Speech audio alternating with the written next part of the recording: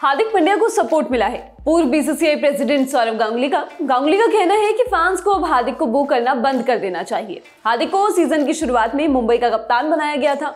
उन्होंने रोहित शर्मा की जगह ली और इस बात से फैंस अभी तक गुस्सा है। हार्दिक की कप्तानी में मुंबई जहाँ भी खेल रही है, लोग उन्हें बू कर रहे हैं। ये सिलसिला टीम के अपने घर, वानखेड़े स्टेडियम में भी जारी रहा और गांगुली से नाखुश हैं। संडे को मुंबई वाले वानखेड़े में दिल्ली को होस्ट करेंगे। इससे पहले दिल्ली के डायरेक्टर ऑफ़ क्रिएट गांगुली ने कहा मुझे नहीं लगता कि फैंस द्वारा हार्दिक को बू किया जाना चाहिए।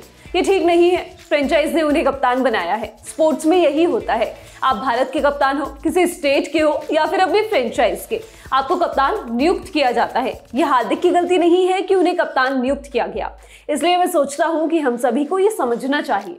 हार्दिक का सपोर्ट करते गांगुली ने रोहित की तारीफ़ भी कर दी। वो बोले रोहित शर्मा अलग ही क्लास है। अपनी फ्रेंचाइज और भारत के लिए कप्तान और प्लेयर के रूप में उनका प्रदर्शन अलग ही लेवल का रहा है।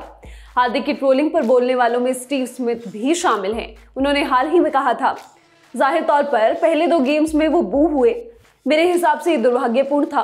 मैं उन्हें हार्दिक को सपोर्ट करते देखना पसंद करूँगा। ज़ाहिर तौर पर यहाँ रोहित के बहुत सारे फैंस हैं। बहुत सारे लोग गुस्सा हैं कि अब वो टीम के कप्तान नहीं रहे, लेकिन सारे लोगों को इससे आगे बढ़कर हार्दिक को सपोर्ट करना होगा। वो एक कमाल के प्लेयर हैं। गुजरात में उन्हें बहुत सारी सफलता मिली। वो मुंबई की कप्तान के रूप में लौटे हैं। सीनियर प्लेयर्स को उनकी मदद करनी होगी। पूर्व कोच रवि शास्त्री भी ऐसा ही कुछ सोचते हैं। शास्त्री ने स्टार स्पोर्ट्स पर कहा था। ये इंडियन क्रिकेट टीम नहीं है, ये फ्रेंचाइज क्रिकेट है। उन्होंने पैसे खर्चे हैं, वो बॉस है। ये उनकी पसंद है कि वो किसी कप्तान के रूप में चाहते हैं। ठीक है, मुझे लगता है कि कम्युनिकेशन में और क्लैरिटी के साथ इसे बेहतर तरीके से हैंडल किया जा सकता था।